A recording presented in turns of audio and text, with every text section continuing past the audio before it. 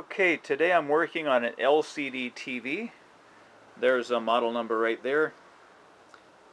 That happens to be the inverter board number.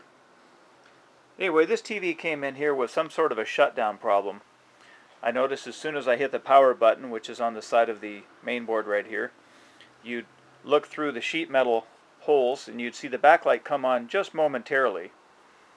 And so my first thought was, okay, I, I see the backlight trying to come on and shutting off.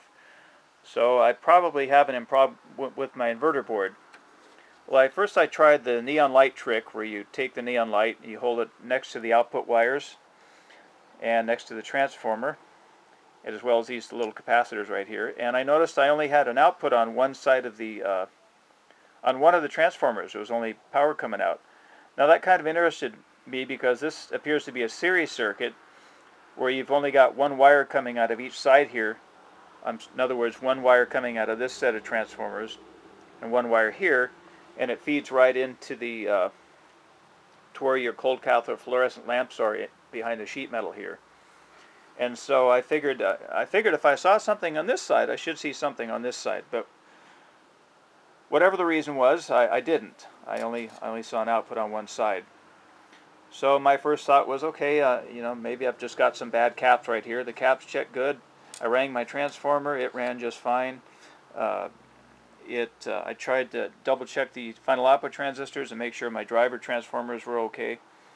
And uh, it turned out that uh, when I unplugged this plug right here, and I tried to turn it on again, I had this thing just barely pulled out, maybe a 16th of an inch. I heard an arc noise, which, which told me there was power coming out of here, but it was being drawn to ground somehow.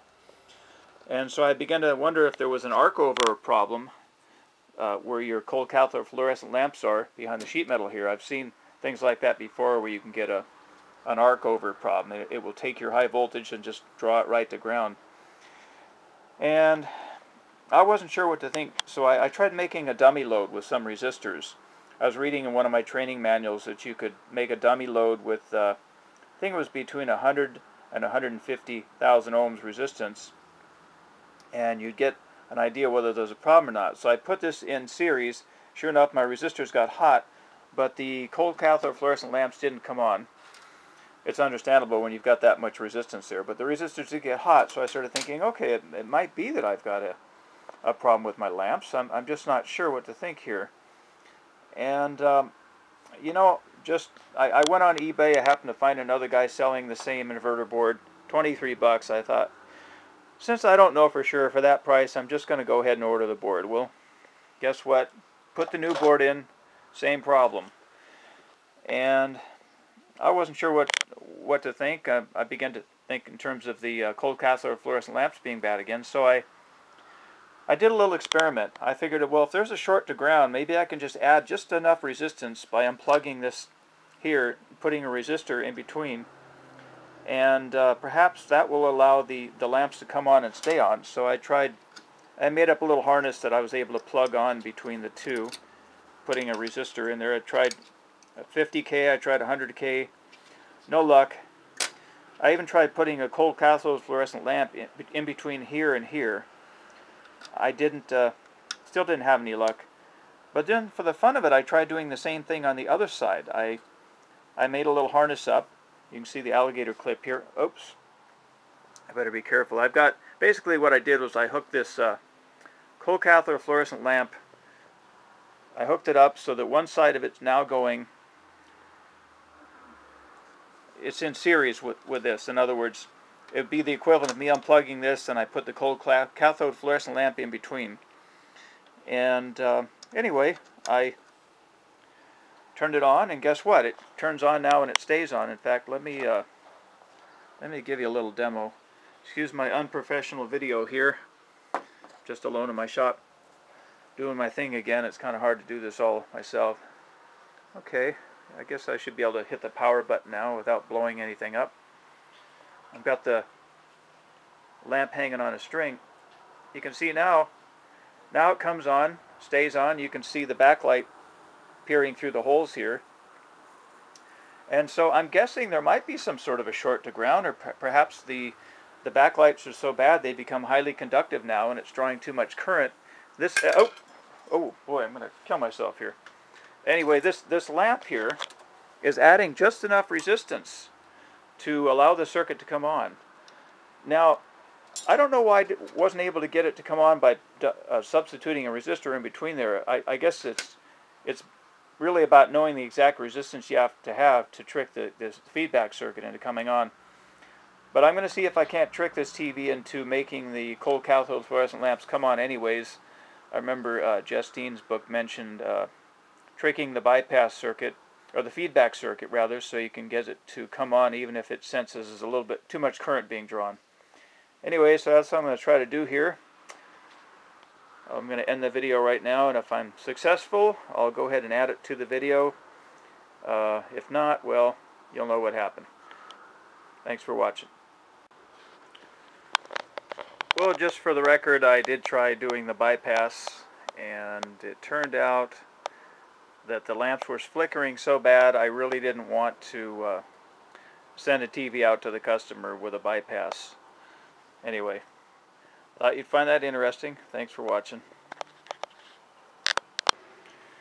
Well, I didn't know I'd be adding any more to this video. I just called the customer. I told them the prognosis of the TV, something going on with the backlights or a possible arc over. And sure enough, there's an arc over problem, all right. There's your problem right there. That was causing the inverter board to shut down. It looks like uh, somebody took a welding torch to it. I'm going to try to clean that up and see if I can fix it. But uh, anyway, uh, very scary operation to pull a TV down to this level. And I made sure that the customer agreed to not hold me liable if something goes wrong at this point because I really don't normally like to tear TVs down to this level. But I, I smelled something burning and I figured there was probably an arc over problem. So there we have it. Well, in order to fix this problem, you really have to get rid of all the carbon. So I've chipped away at this here best I could. I think I'll probably take my Dremel tool to it also. Carbon is a conductor, so really I have to get rid of all this car carbon next to this uh, electrode here. This, this holds the lamps in place. And so obviously it was arcing over here, from here through the plastic to the ground. And the same thing happens in distributor caps in cars. Every once in a while you'll see a, a what they call a carbon track. It sort of forms itself uh, from the high voltage. And so anyway, I'll, I'll seal it with uh, electric tape, many layers or something. I'm not, put the screws back in. I'm not sure exactly how I'm going to do it. I'll take a video before I'm done here. Well, I cleaned all the carbon out of there and I packed it full of this uh, resin stuff. It's made for fixing boats, something a friend recommended. I'm going to put some tape on there while that cures. Uh, in the old days, it was fairly common for flyback transformers to arc over because they had such a high voltage in them. And a friend of mine mentioned that he tried different glues and sometimes they didn't last. And this is the best stuff he'd found. It's not necessarily designed for what I'm using it for, but because my friend mentioned having such good luck with it, that's what I've got. Boat resin put in there, and I put a little electric tape underneath there too. Now this stuff, uh, if you ever buy it, it uh, comes with a resin and a catalyst and I guess you mix it one one to five ratio and I think it's going to be fairly fast drying anyway um, hopefully it'll work as good on this as it did on flyback transformers